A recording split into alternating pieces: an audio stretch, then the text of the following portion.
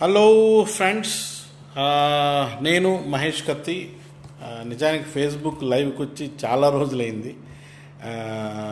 గత one and half మంత్గా నేను కూడా కొంచెం బిజీగా ఉన్నాను వేరే వేరే పనుల్లో. అందుకని ఫేస్బుక్లో యాక్టివ్గా ఉన్నా కూడా లైవ్కి వచ్చే టైం కానీ సందర్భం కానీ దొరకలేదు.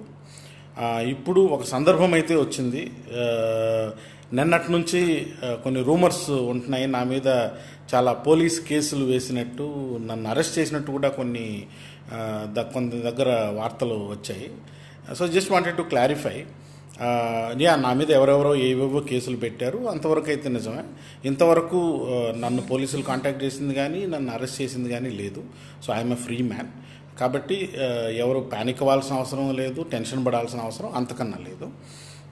ఏదో ఒక న్యూస్ ఛానల్లో నేను ఇచ్చిన టెలిఫోన్ ఫోన్ ఇన్లో ఒక రాముణ్ణి కించపరిచాను కాబట్టి హిందువుల మనోభావాలు దెబ్బతిన్నాయి అని ఏవో పిచ్చి గ్రూపులు కొన్ని ఉంటాయి కదా హిందూ పే- పేరు చెప్పుకునే గ్రూపులు.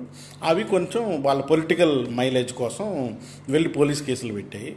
అఫ్ కోర్స్ ఈ ఈ మధ్య కాలంలో బెదిరింపు ధోరణుల్లో ఉన్నటువంటి ఒకటి ఏంటంటే ఫోన్ నెంబర్ పబ్లిక్ డొమైన్లో పెట్టి అందరినీ నాకు ఫోన్ కాల్ చేసి బెదిరించమన్నాం ఇలాగ నాకు మళ్ళీ కొన్ని కాల్స్ వస్తూ ఉన్నాయి. నేను నా కొత్త నెంబర్ కూడా పెట్టి మరి నాకు ఫోన్ కాల్స్ చేయమంటున్నారు. అసలు అది చాలా ట్రివియల్ ఇష్యూ అది.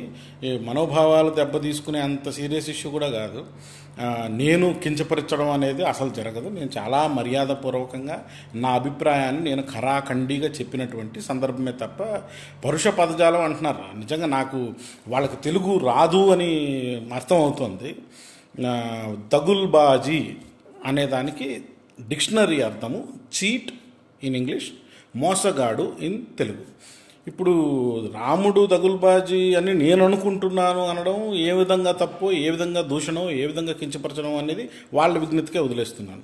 చెట్టునాటి నుంచి వాలిని చంపడం నమ్మి వచ్చిన సీతాదేవిని అగ్ని అగ్ని ప్రవేశం చేయమనడం అగ్ని పునీత అయిన తర్వాత కూడా ఆయన అడవులకు తరిమేయడం మోసమని నేను అనుకుంటాను.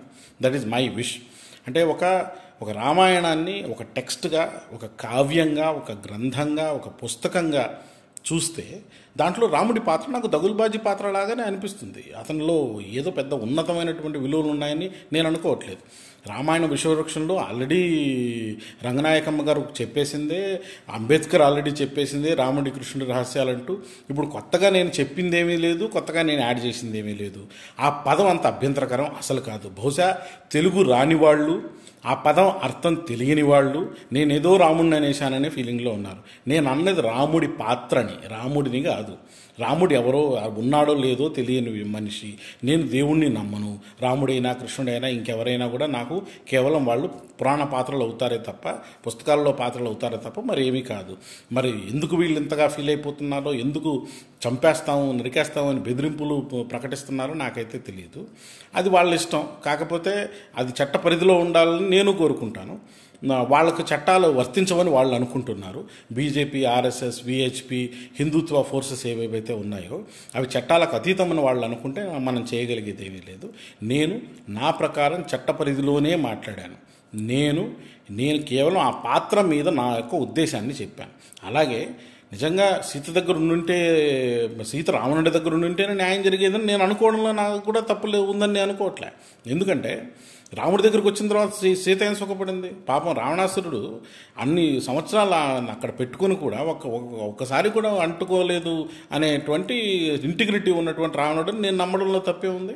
అలాంటి వాడి దగ్గర సీత సుఖపడేదని నేను నమ్మడంలో తప్పే ఉంది. అంటే ఒక పుస్తకంలో వంద రకాల ఇంటర్ప్రిటేషన్లు చేయొచ్చు. అంటే నిజంగా వీళ్ళకి ఎవరెవరైతే ఈ రామాయణం రామాయణం రాముడు దేవుడు సీతమ్మ మాత అసలు వాళ్ళ గురించి ఏమీ మాట్లాడకూడదు అనుకుంటున్నారో వాళ్ళకి ఎన్ని రామాయణాలు ఉన్నాయో కూడా తెలియదు అసలు వాల్మీకి రచిత రామాయణమే కాకుండా ఇంకా వంద రకాల రామాయణాలు ఉన్నాయని ఎవరికీ తెలియదు. ఆరుద్ర గారి పుస్తకం ఉంది. రాముడికి సీత ఏమవుతుంది అని. బహుశా దాన్ని చదువుకుంటే వాళ్ళకి తెలుస్తుందేమో. మోర్ దెన్ ఎయిటీ రామాయణస్ ఉన్నాయి. దాంట్లో బౌద్ధ రామాయణం కానివ్వండి జైన రామాయణం కానివ్వండి లోకోత్తర రామాయణం కానివ్వండి అద్భుత రామాయణం కానివ్వండి ఇవన్నీ కూడా చాలా ఉన్నాయి రా- అలా ఇంకా లోకల్గా రాసిన కంబ రామాయణం కానివ్వండి మొల్ల రామాయణం కానివ్వండి ఇలాగ చాలా రకాల రామాయణాలు ఉన్నాయని వీళ్ళకి తెలియదు. ఈ తెలియని తనంతో అదేదో రామాయణం అంటే అదో సాక్రోసాంక్ట్ పుస్తకం అనో అది ఎవడు మాట్లాడకూడదనో ఎవరు టచ్ చేయకూడదనో వీళ్ళకి ఇంకో విషయం కూడా అర్థం కావట్లేదు. సుప్రీం కోర్ట్ ఆఫ్ ఇండియా రెండు వేల ఏడులో ఇచ్చిన జడ్జిమెంట్లో క్లియర్గా చెప్పింది. రామాయణం అనేది ఒక పుస్తకం ఒక గ్రంథం. దాని మీద కాపీరైట్లు ఎవరికీ లేవని. వీళ్ళకి ఎక్కడి నుంచి కాపీరైట్లు వచ్చాయి నాకు నాకు తెలియట్లేదు. రామాయణంకి నా ఇంటర్ప్రిటేషన్ నేను చెప్పుకునే అధికారం నాకు ఉంది దాన్ని నేను అంతే మర్యాదగా చెప్పాను. అక్కడేదో పరుష పదజాలం వాడాడు కించపరిచాడు. ఇవన్నీ కూడా అపోహలు భ్రమలే తప్ప మరొకటి కాదు. కాబట్టి వాళ్ళు కూడా జాగ్రత్తగా ప్రవర్తించుకుంటే బెటరు.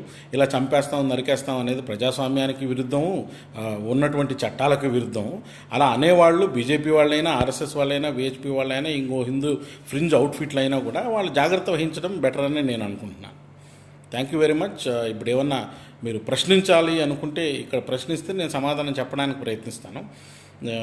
నా వరకు వివరణ వివరణ అంటే ఫ్రెండ్స్ అందరూ కన్సర్న్ అయ్యి అరే ఏంటి ఏదో జరిగిపోతుందంట నేను అరెస్ట్ చేస్తున్నారంట అంటేను సరే కనీసం ఒక మాట చెబుదాము అందరికీ ఫోన్ చేసి చెప్పడం కన్నా ఇలా ఫేస్బుక్లో చెబుదామని నా ఉద్దేశం తప్ప ఏదో సంజాయిషి ఇచ్చుకోవాలని అయితే కాదు. I stand by my word నేను నేను నమ్మిందని నేను చెప్పాను. అంతే తప్ప మీ నమ్మకాలను ఎవరు కించపరిచారు?